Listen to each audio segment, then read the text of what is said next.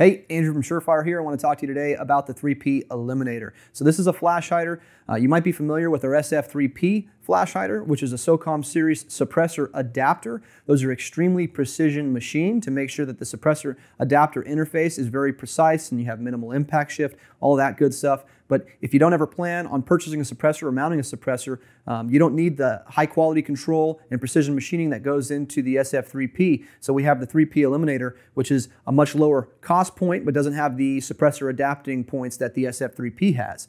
Um, this still maintains the same flash reduction that the SF3P, so 99% flash reduction compared to an open muzzle, so extremely effective flash hider, uh, and again, at a much lower cost. So if you don't ever plan on buying a suppressor, this is a great option for you. So check out the 3P Eliminator at surefire.com.